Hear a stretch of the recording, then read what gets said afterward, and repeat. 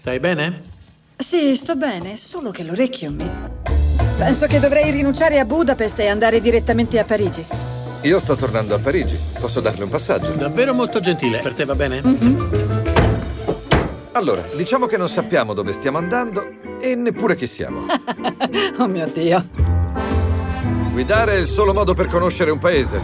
Dove sei? Sto andando a Parigi con uno dei soci di tuo padre. Voilà.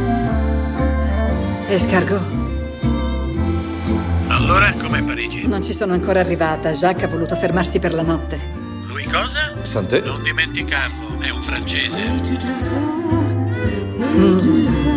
È felice? Abbiamo un buon matrimonio. È felice. C'è un bellissimo museo. Dovresti andarci. No, no, dobbiamo andare a Parigi. Pensavo che a quest'ora fossimo già a Parigi. Parigi può attendere.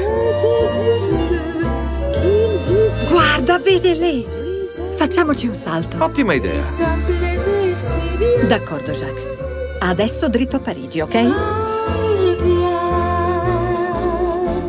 Ciao a tutti da Valeria. Oggi si parla di anniversari, e cioè di alcuni film che arrivano al loro ventesimo anno di vita proprio quest'anno, nel 2017.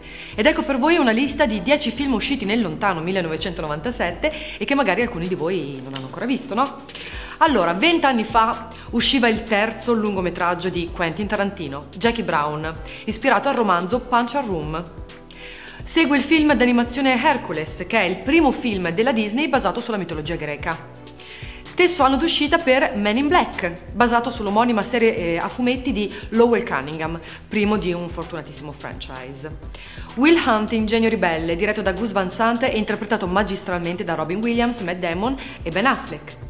La vita è bella, stesso anno per questo film di Roberto Benigni, vincitore di tre premi Oscar su sette nomination totali al film.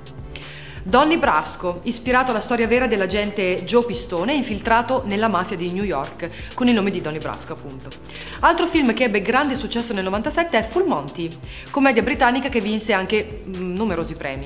E compie vent'anni anche Gattaca, La porta dell'universo, con Ethan Hawke, Uma Thurman e Jude Law, film fantascientifico accostato al filone del biopunk.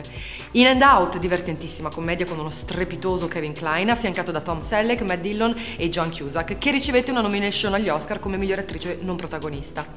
E non posso non citare un film drammatico che dal 97 appunto è entrato nella storia del cinema, Titanic, scritto e diretto da James Cameron e con protagonisti Leo DiCaprio e Kate Winslet. Allora, li avete visti tutti quanti o vi mancava qualcosa? Quale di questi è il vostro preferito? Fatemi sapere nei commenti qui sotto e io vi aspetto naturalmente al prossimo video. Ciao!